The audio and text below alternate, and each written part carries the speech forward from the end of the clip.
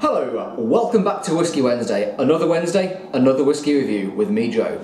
So, on to my penultimate, always love that word, uh, Jura whisky review.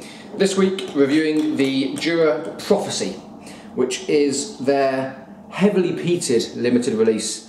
Uh, it's bottled at 46%, no age statement. Put that in the box.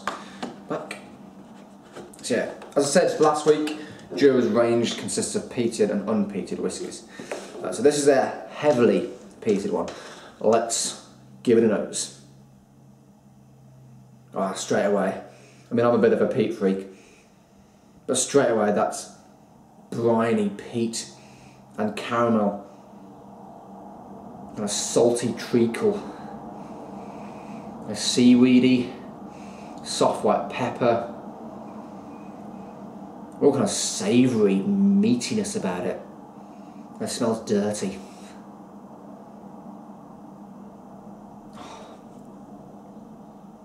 That's a cracking nose, kind of savoury, meaty.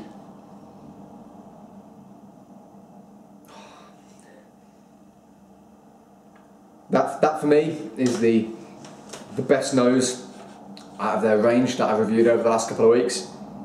I mean, it might be because I'm a bit of a peat freak, as I said, but uh, it's so different. I kind of, it's just savoury. It's one of the most savoury smelling whiskies I've ever smelt.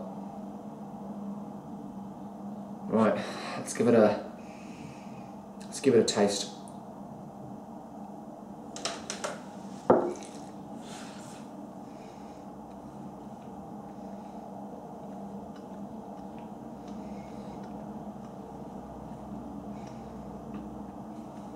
Mm.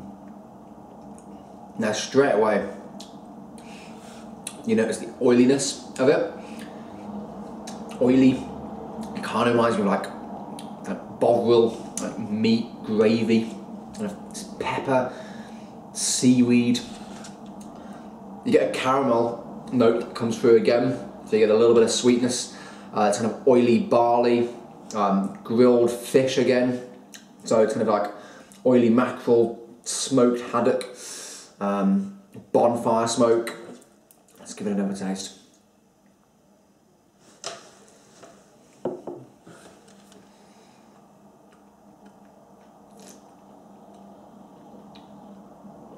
And kind of burnt, burnt biscuity barley. Uh, smoked maltiness, meat juices, a grilled ham. That's really good. That's a kind of it's a kind of dangerously easy drinking peaty whiskey because it's peaty and it's intense, but it's it's kind of soft and sweet at the same time. Give you one more taste for the finish.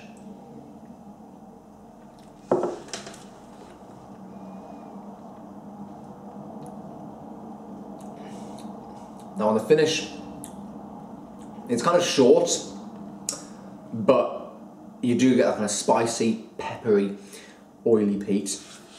That that is my favourite Jura out of their kind of core range, if you like the range that you can get in the whiskey shops, you know, around the country, um, in terms of like you know online and you know in retail places as well.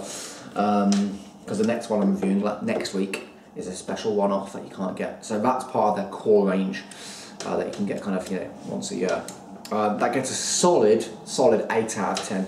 Uh, it's a really good peaty kind of explosion. It's the most complex, it's the most fun Jura whiskey, and it's the most entertaining, which for me, um, a whiskey needs to be entertaining, it needs to be kind of exciting. So yeah, 8 out of 10 for the Jura Prophecy, their heavily peated release. Um, let me know what you think. As always, please leave a comment in the boxes below. Uh, you know the drill. I'm sure if you're on YouTube, you know how to leave a comment. Just type away. And I will see you next week, guys. Bye bye.